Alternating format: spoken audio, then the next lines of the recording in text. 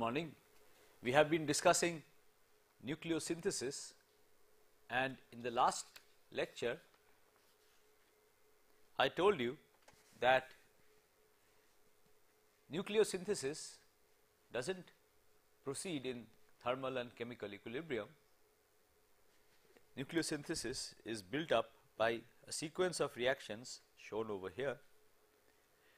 Finally, so these reactions start from proton and neutron and finally it ends when all the neutrons that are available at the time when these reactions start off all the neutrons get trapped into helium 4. Helium 4 is the nucleon with the highest binding energy per is the nucleus with high, highest binding energy per nucleon amongst the light nuclei. So, the reactions proceed up to here and then stop roughly. Okay. now, uh, these reactions are not so the main effect of these reactions is to take the neutron whatever neutron is available and put them into the helium 4. Now these reactions are not perfectly efficient. And uh, so as the reactions proceed the neutron density drops. And as a consequence there are certain things which are the reaction rates become lower and lower. They become less efficient as the reactions proceed because the neutron the the uh, number densities drop as the reactions proceed and towards the end you have certain things left over from the reaction which uh, do not finally end up in helium 4. So, these things that are left over at the end of this are deuterium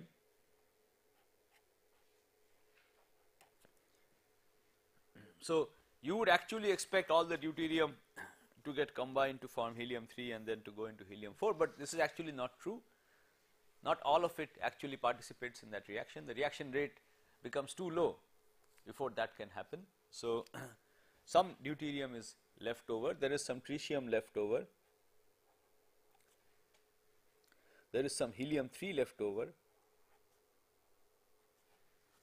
then there is some uh, beryllium lithium 7 left over and beryllium 7 also which is there at the end of this.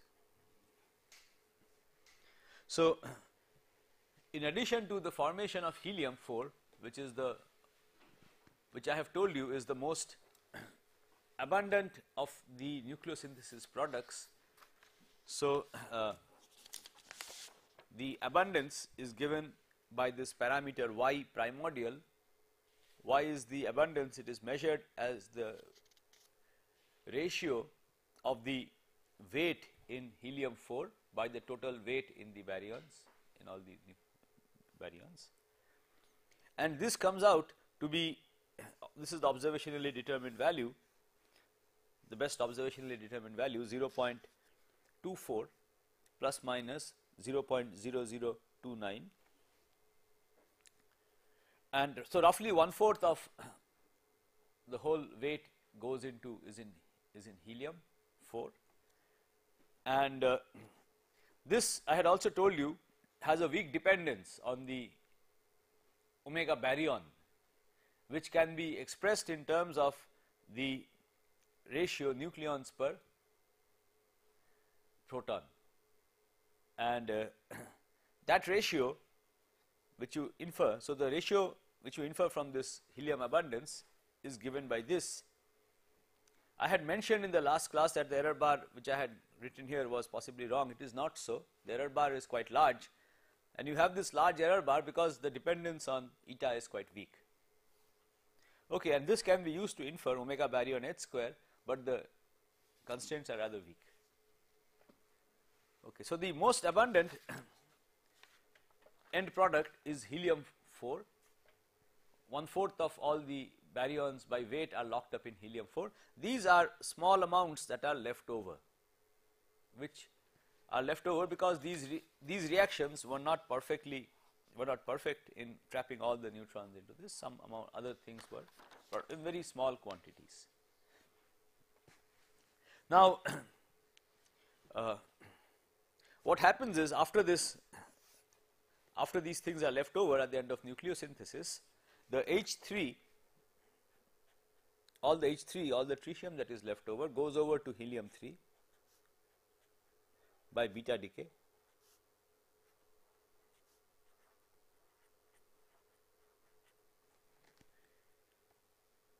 and all the beryllium 7 goes over to lithium 7 by electron capture.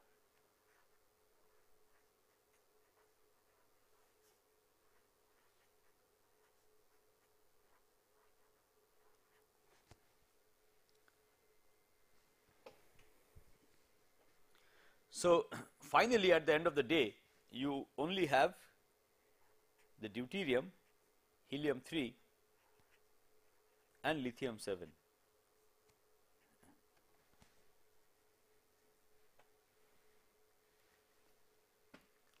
Okay, so these are the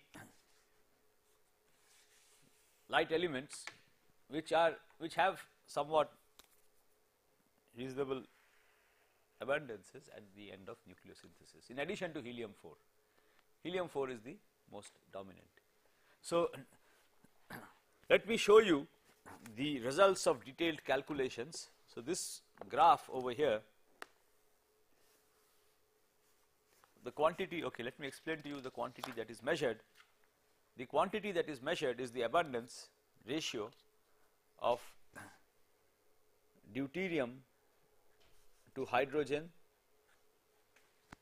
the abundance ratio of helium 3 to hydrogen and lithium 7 to hydrogen.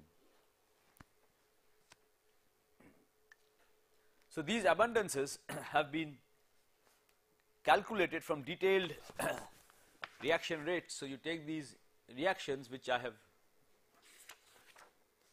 okay take these reactions and there will be further reactions which give rise to lithium and beryllium and uh, then you have to solve these numerically along with the expansion of the universe and you will be left with certain values for these. These okay these depend all of these okay I shall come to the dependence later let me show you what the results are. So, the results are shown in the graph over here. This the upper up topmost graph I hope you can see it. The topmost graph is deuterium to hydrogen. This has so amongst these this is the helium 4 which is much higher. Okay, the topmost graph is deuterium to hydrogen which is amongst these three the highest abundance. Then you have helium 3 so deuterium this is helium 3 and this is lithium 7 much lower. Okay, so you have these three. Now, let us first discuss deuterium.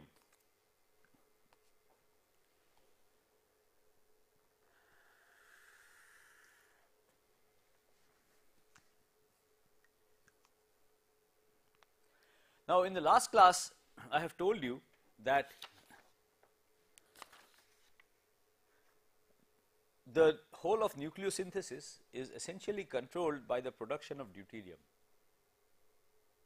If they were in thermal equilibrium, helium 4 would have been produced first, then helium 3 and tritium and finally deuterium because this has the least binding energy.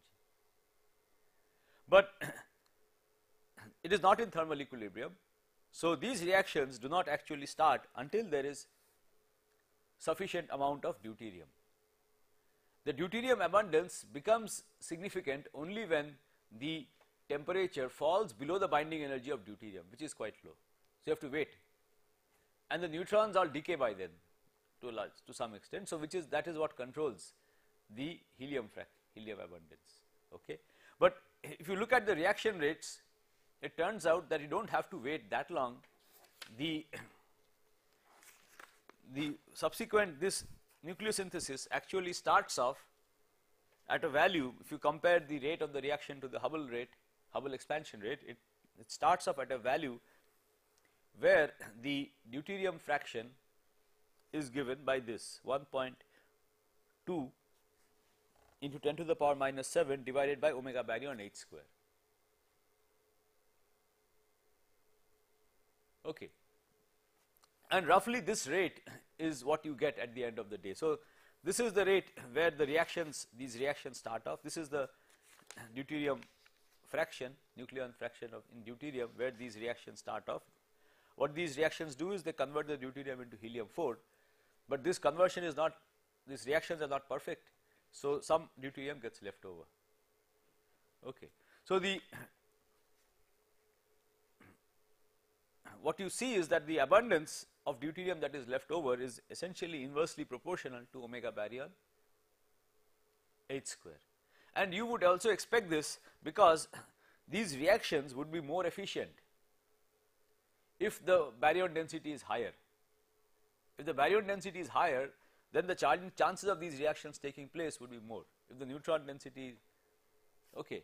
So, so the abundances of these things that are left over essentially you expect them naively to be less if the baryon density is more because the efficiency of these reactions would increase if the baryon density is increased. Okay, and the abundances would be more if the baryon density were less. And it is also seen over here and you expect the, the value of deuterium abundance to be around 0. Points. So, this is what you expect for the deuterium abundance. Okay, it will get frozen at that value, that value will roughly around that value. Now, measurements, okay, deuterium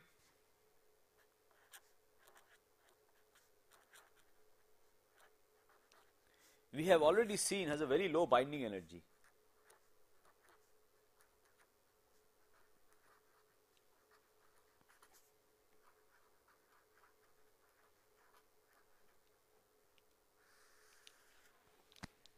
So, it can be easily destroyed. The deuterium nucleus has a very low binding energy, so it can be easily destroyed.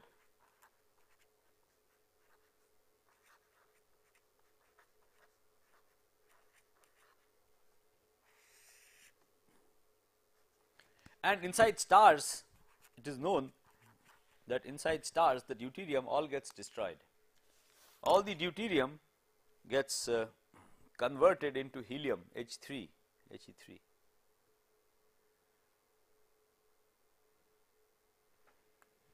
So, deuterium gets destroyed, stars destroy inside inside stars the deuterium gets destroyed. So, any measurement of the so any measurement of the deuterium abundance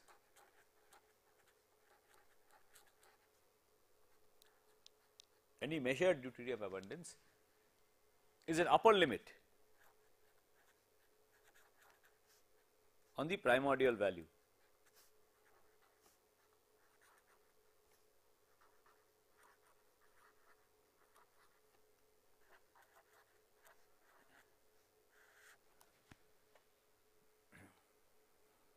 Okay. And we have seen and I have explained to you already that the predicted abundance See this is eta. So as eta increases and eta goes from 1 all the way to 10 times 10 to the power minus 5, 10 to the power minus 10 sorry. This is in units of minus 10 eta. Okay. So as and eta is proportional to omega baryon square, it is the nucleon per photon.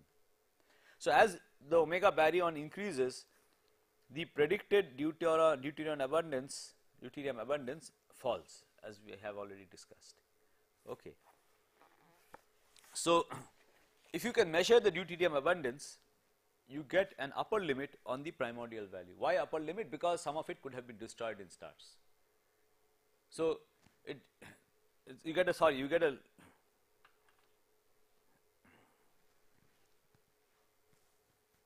you get a lower limit not upper limit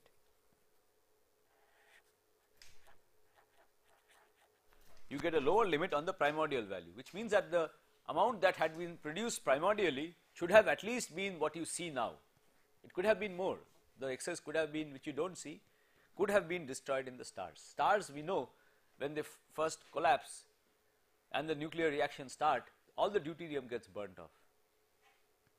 Okay. So, what you see now could be less than what was actually produced primordially. So, it is a lower limit it had to be more okay. and a lower limit on this d by h abundance implies an upper limit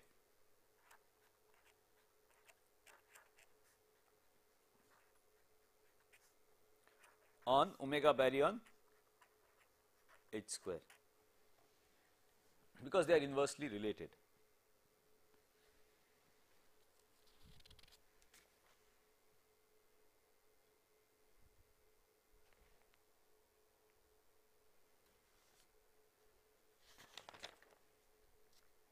Okay.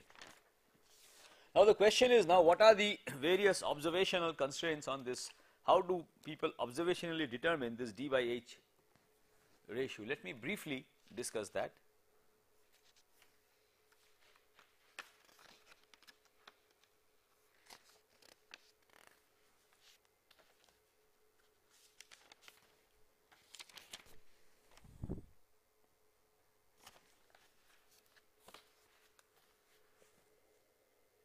So, first is spectroscopic studies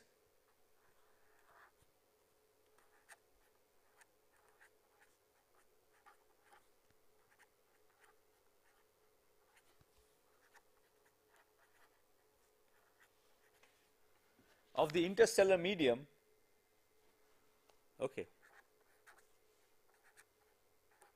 So we have when discussing galaxies I have told you that there is an interstellar medium. This is gas between the stars. In galaxies you have in addition to stars you also have gas in the in the in between the stars. This is called the interstellar medium ISM interstellar medium. And spect spectroscopic studies of the ISM gives d by h to be equal to 1.66 1.60 plus minus 0.09 into 10 to the power minus 5.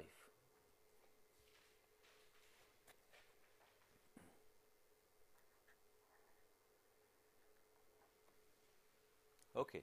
Next, so this this is from studies of the interstellar medium. Then we have studies of the solar wind.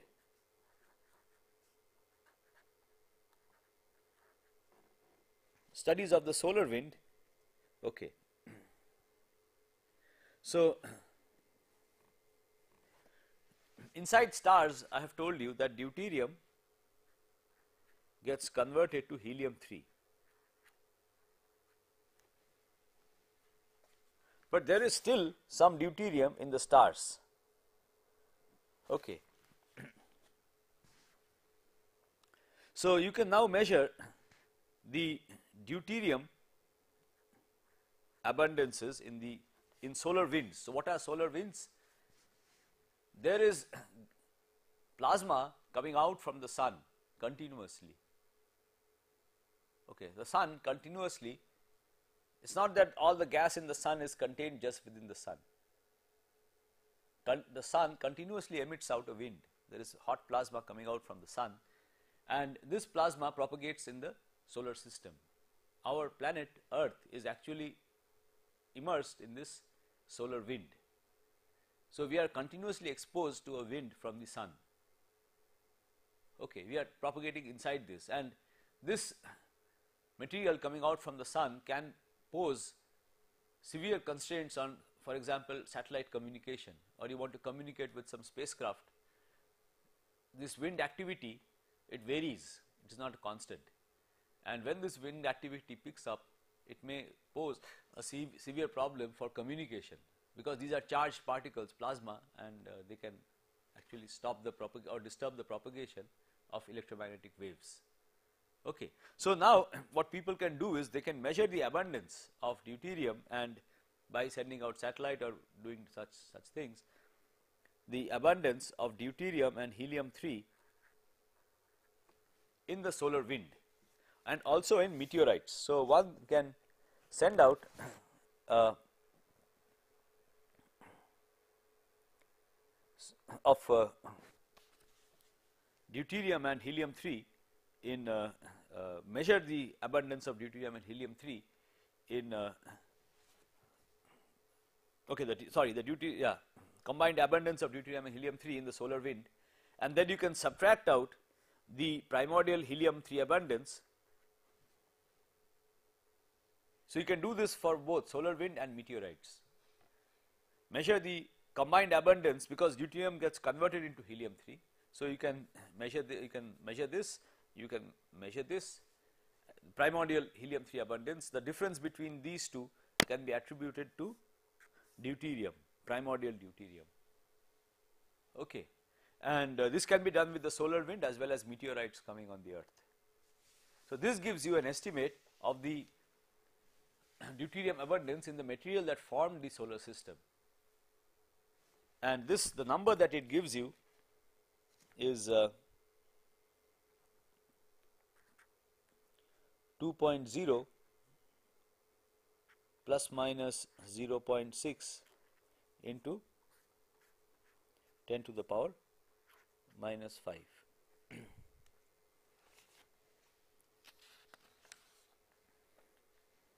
then the third method is Jovian atmospheres.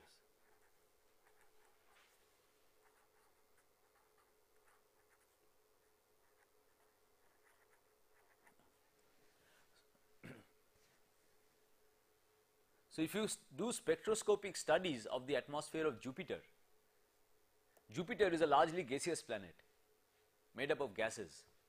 So, if you study the atmosphere of Earth, you will get oxygen, carbon and these things. If you study the atmosphere of Jupiter, there people have measured.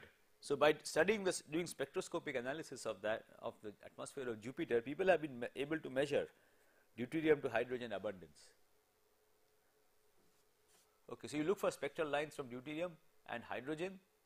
And you can apply the Saha ionization formula to or if they are all in the ground state then you know from absorption lines what you expect. Okay? And uh, this gives you a value.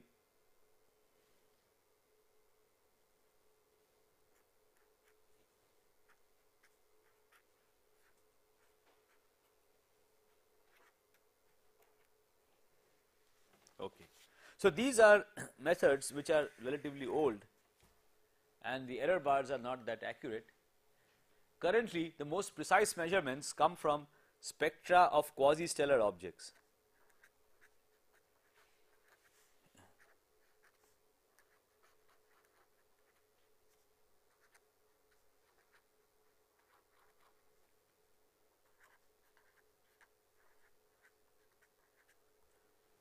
So, these quasi-stellar objects are referred to as QSOs or quasars. Okay.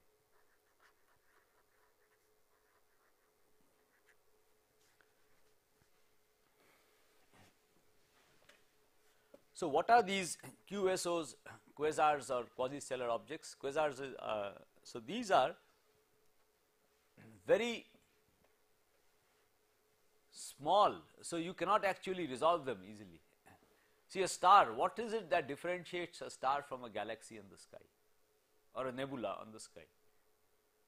The a star, what is it that differentiates a star from a galaxy or a nebula? So, until now we have discussed stars and galaxies. How will you distinguish between a star and a galaxy or a planet let us say? How do you distinguish, how would you distinguish between a planet and a star?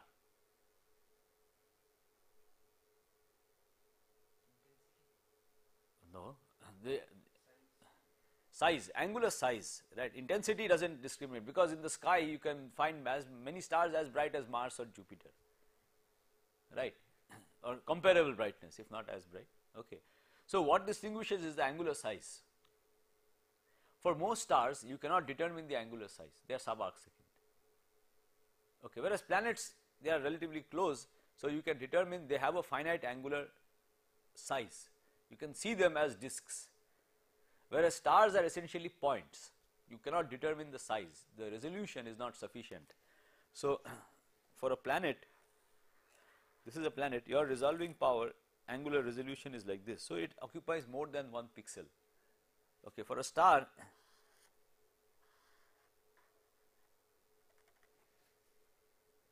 okay, the angular size is smaller than your resolution. Okay.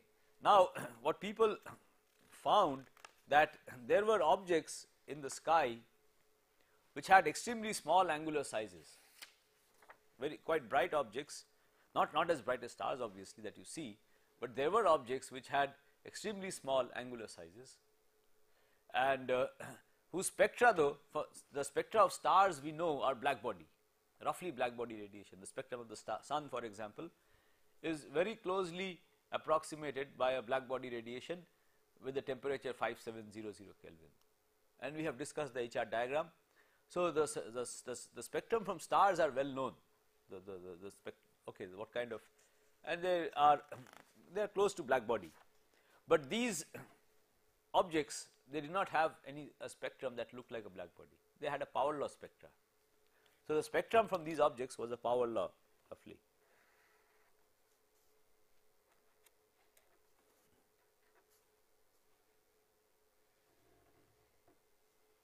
So, something like this. Some nu to the power minus alpha. Okay not black body.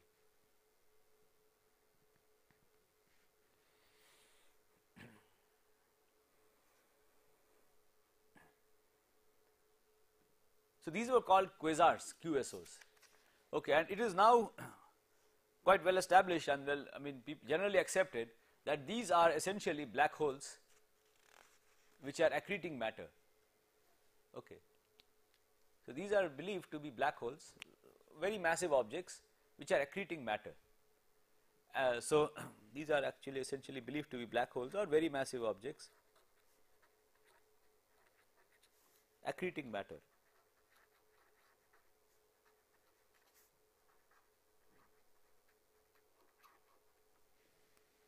And the radiation that you see is from the accreting matter. The black hole obviously will not emit radiation.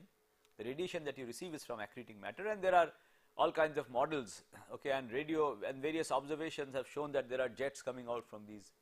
Okay so now it's a it's a very well developed subject the one of QSO but these are actually referred to as QSOs quasi-stellar objects because their angular size is extremely small. You cannot uh, you cannot make them out. You cannot make out the angular size okay they are very small like those of stars.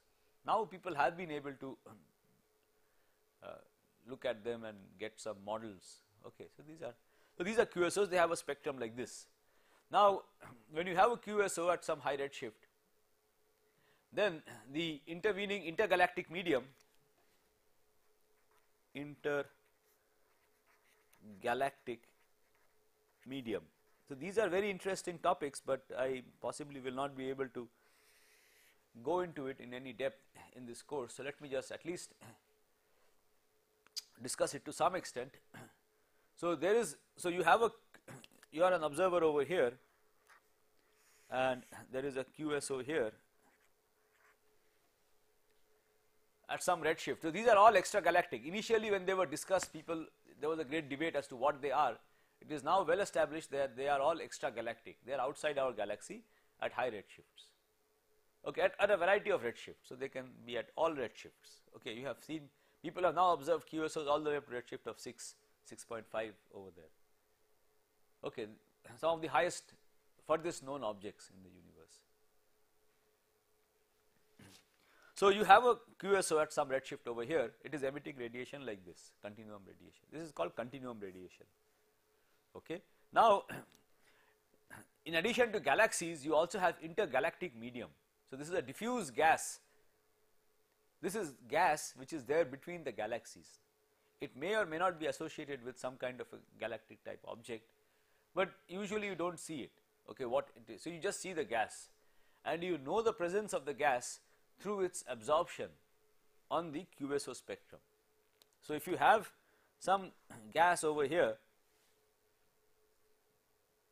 in between, then the gas will make its presence felt by its absorption on the QSO quasar light. Okay, so if you look at the quasar spectrum, it is not going to be actually like this. What it looks like, I will show you a quasar spectrum later on, not today though. What it looks like is like this. Okay, there can be all kinds of lines. I am just drawing an artist diagram, but there will be all kinds of spectral lines, absorption lines on the quasar spectrum. Okay, so these absorption lines are due to gases in the interstellar medium, intergalactic medium. Okay, and the study of the intergalactic medium is one is a very use, interesting topic in cosmology. Okay, of great interest in cosmology. So, what people have been able to do is they have been able to detect deuterium and hydrogen lines and uh, from these lines the the value that they get the deuterium to hydrogen abundance okay so this let me just tell you that the study of these lines is itself a very very interesting subject. People have classified the hydrogen lines as Lyman alpha uh, you get a Lyman alpha forest damped Lyman alpha lines etc I shall not go into the details of this but uh, as from for the deuterium to hydrogen abundance the value that is obtained is a 2.78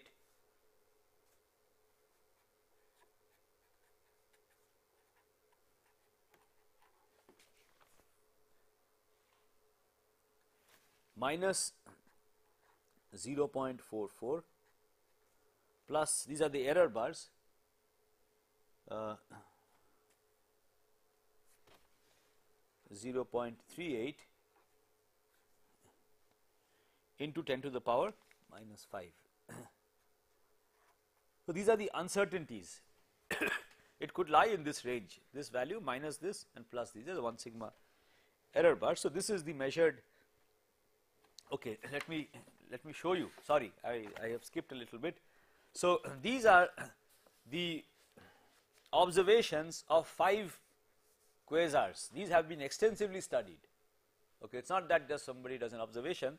So, this is these are the observations from 5 QSOs, these are the numbers of these QSOs, QSOs all the QSOs have been numbered. So, they are these are 5 QSOs and for each of these QSOs these are the redshift and this is the deuterium to hydrogen abundance ratio. Okay, so, these are 5 quasars, the data from these 5 quasars were combined to yield finally. So, these are at different redshift. So, you can see what the redshift range. So, this gives an idea also of the redshift range of quasars. Okay, quasars actually now have been found all the way up to redshifts of around 6.5. Okay, one of the, they are some of the most luminous objects in the universe. Otherwise, you would not see them to a redshift of 6.5. So, these are the abundances that you get and all these values finally have been combined to get one value which is this for the primary this is the primordial okay primordial deuterium to hydrogen abundance and uh, if you convert this to eta you are led to a value 5.9 plus minus 0.5 into 10 to the power minus 10 or omega baryon H square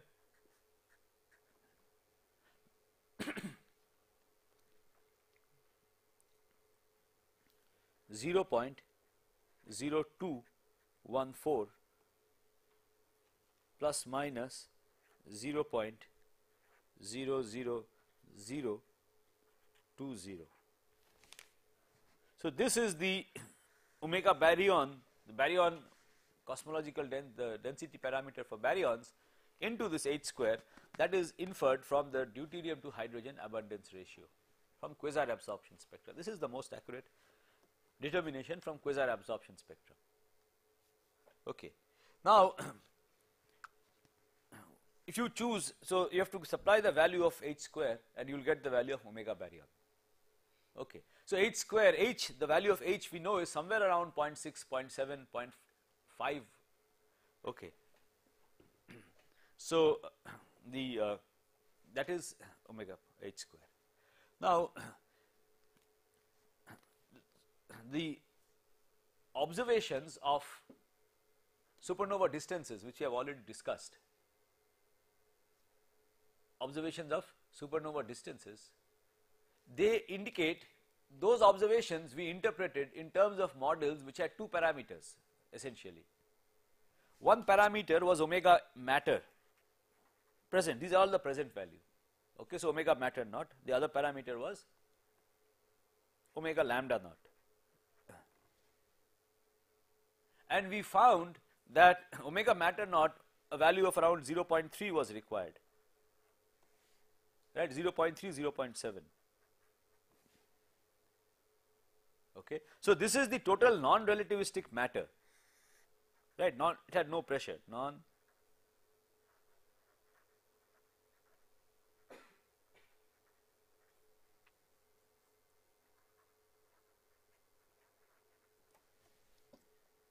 Point 0.3. Now, for any reasonable value of h, you see that the omega baryon is much smaller than this. For any reasonable value of h, omega baryon is much smaller than this. So, omega baryon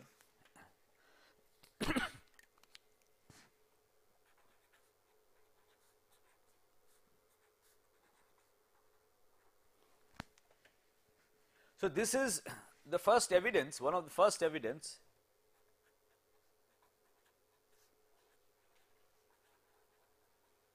for non-baryonic dark matter.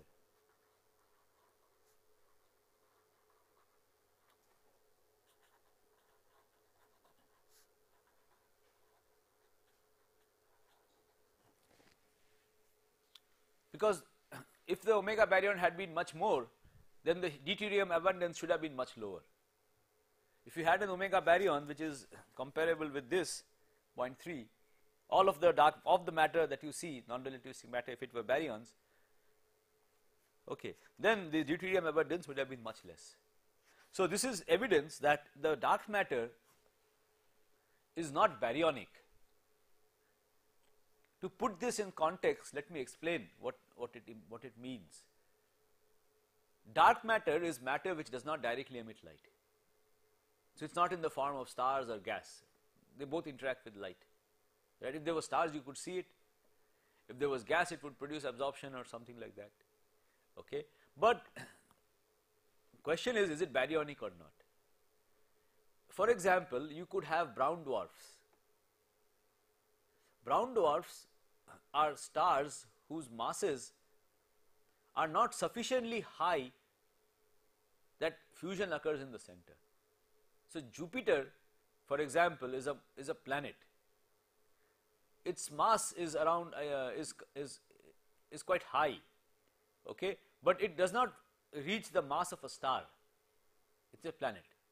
Now if i had a star whose mass were somewhat higher than jupiter it would if it collapsed it would not so if if the mass of jupiter had been say considerably higher then you would be in a binary planetary binary stellar system okay? But that is not so. Jupiter is massive but not as massive but still a planet. But if it had been somewhat higher, then it would have been a star. But the when the star collapses, the gas, the temperature of the gas increases due to the gravitational collapse at the center and fusion starts. But if the mass is not sufficiently high, there is a critical mass whose values I do not remember right now exactly. It is around 0.1 less than possibly 0.1 solar mass somewhere over there. But if the mass is not sufficiently high, then the fusion does not start. So, it is a star, but that there is no fusion. So, this Star only energy is the gravitational from the gravitational collapse. It keeps on collapsing. This is called a brown dwarf. Okay. So suppose you had many many brown dwarfs. They would not emit radiation. You would not see them, and this could be dark matter for one example of dark matter. So if our galaxy, for example, had in the halo many brown dwarfs, then there could be some dark matter candidate. Okay. So I am just giving you possibilities. Brown dwarf,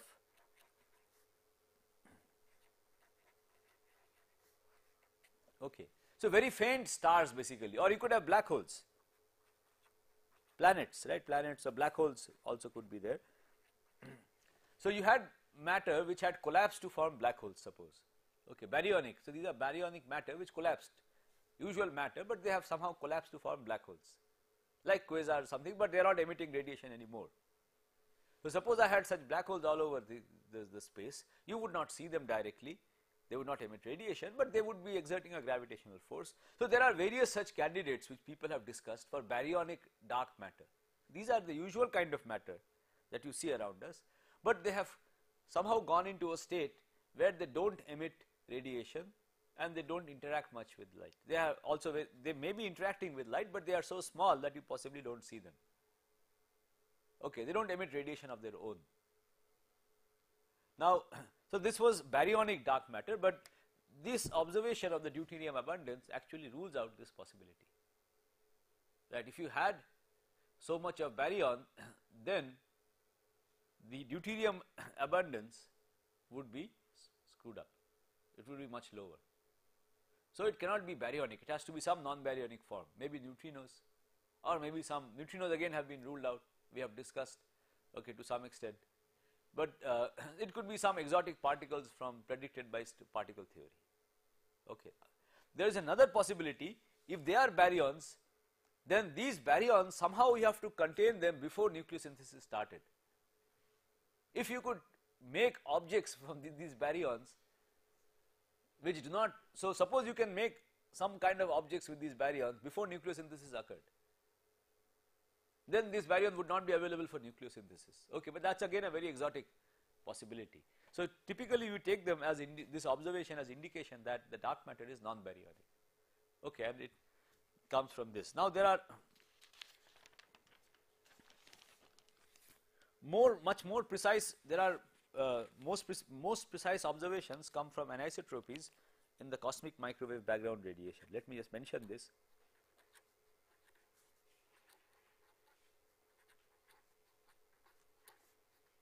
Now,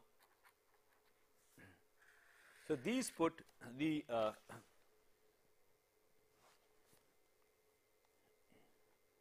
the the most uh, stringent uh, constraints on uh, omega baryon H square and the values that it predicts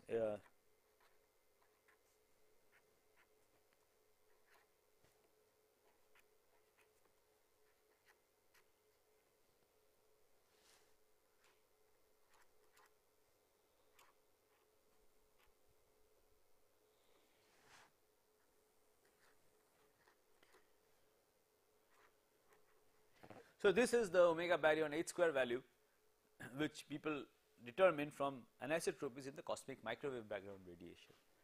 And uh, omega matter H square this value from same observations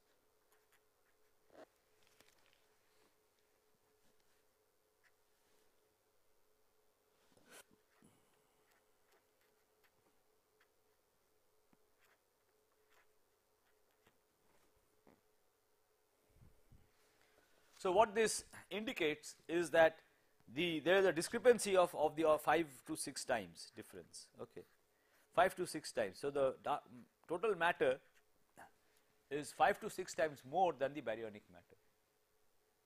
Okay, so, you have a need for non-baryonic dark matter. Okay.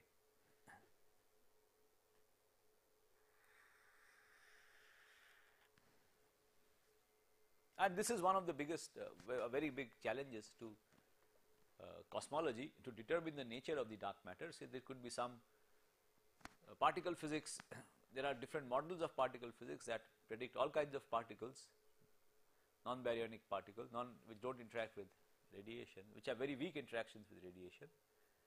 Uh, but unfortunately no such particle, I mean these particles have, I mean there is, no, there are many candidates, but there is no clear picture as to what is really is the dark matter, uh, what really makes up the dark matter that we have. Okay. Now, let us shift our attention to the helium 3 abundance.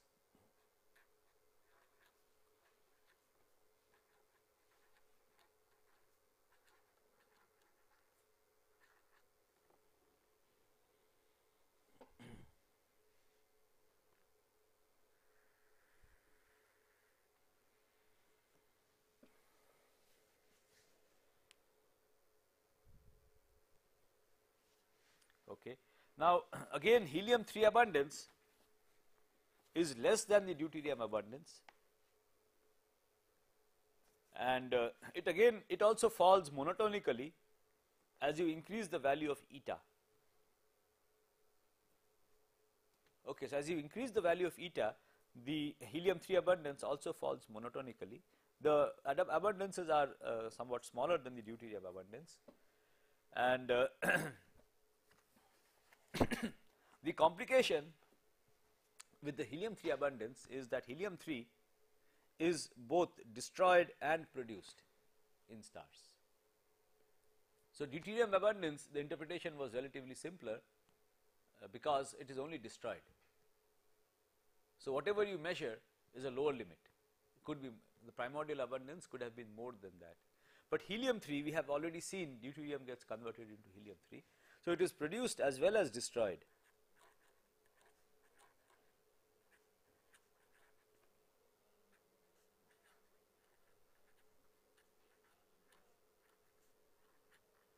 both these processes occur. We have already seen how it is destroyed helium 3 for example could combine with a neutron and uh, you would get helium 4 okay that is one reaction which we have discussed. It is also destroyed uh, produced we have also seen one reaction deuterium can get uh, converted to helium 3 okay by fusion which we have already seen. So, both of these processes can occur. So, it is not so straightforward to interpret uh, what you actually observe. Okay. Now, there are observations of H2 regions again I have mentioned what these are. So, galactic H2 regions these are regions of ionized gas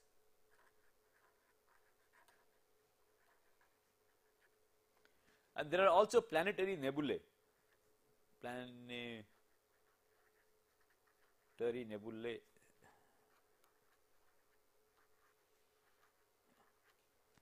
These are gaseous envelopes around stars which form around stars. And uh, they have uh, strong emission lines.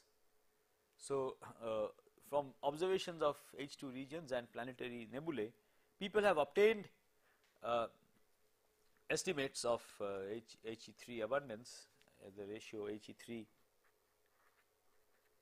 hydrogen and this is less than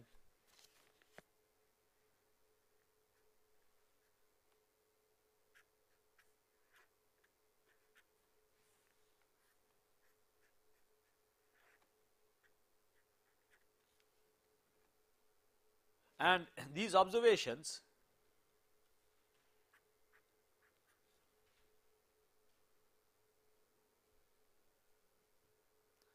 they uh, imply omega baryon H square has a value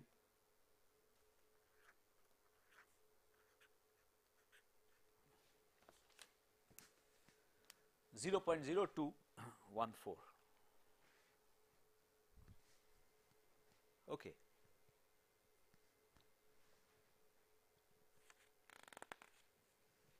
So, that is helium 3 abundance. The next thing that one could look at is lithium, lithium 7. There is also lithium 6 that is produced. So, lithium 6 the abundances are extremely small and they are really not, uh, they do not impose any uh, not considered for imp, uh, imposing cosmological constraints, but lithium uh, 7 does impose cosmological constraints.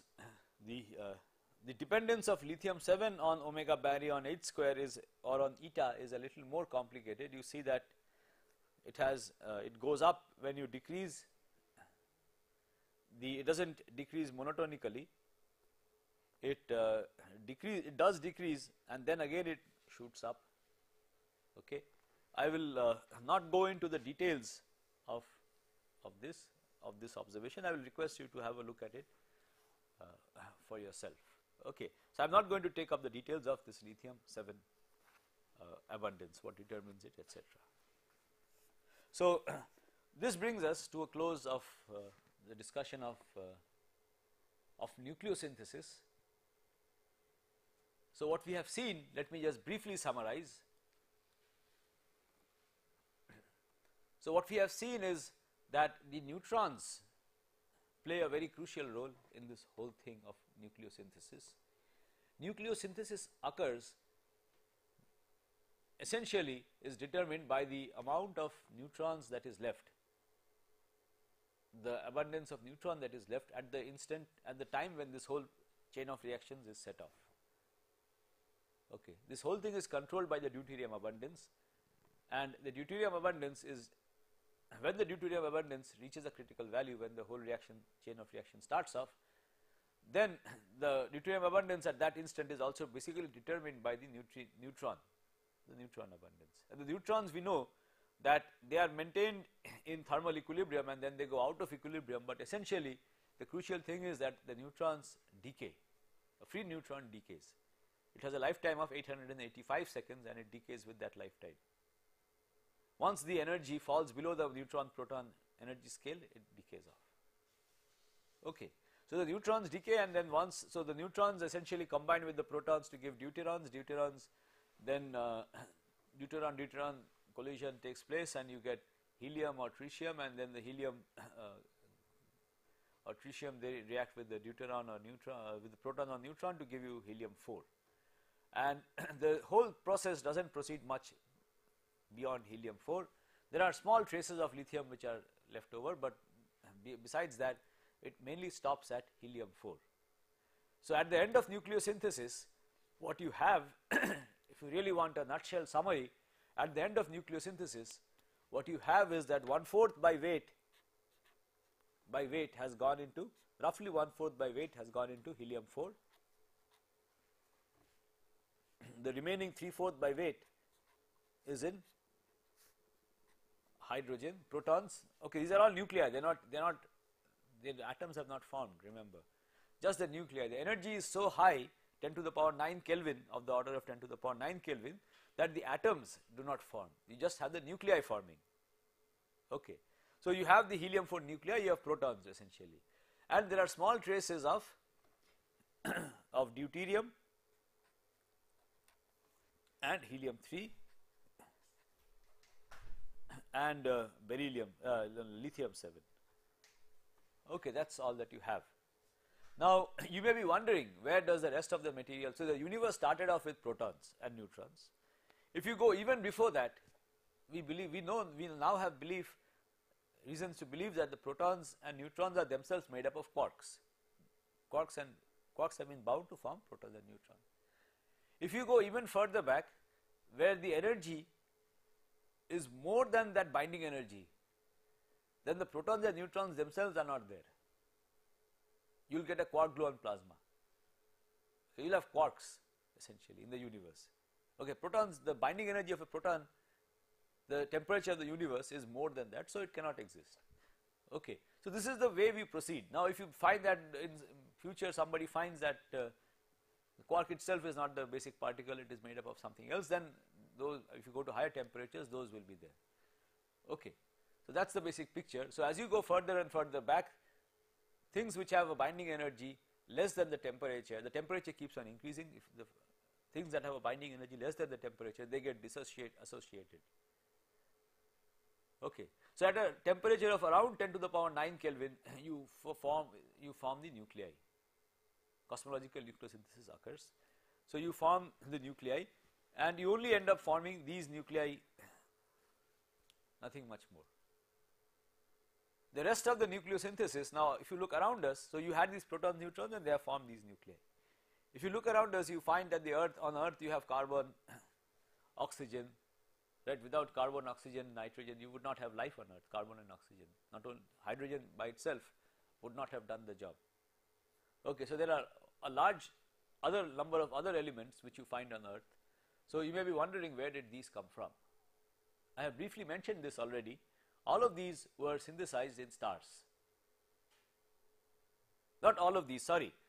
Inside stars, so much later, this is something that we shall do. Much later, you had the so the epoch when we are talking about there are no stars, there is just some gas. Okay.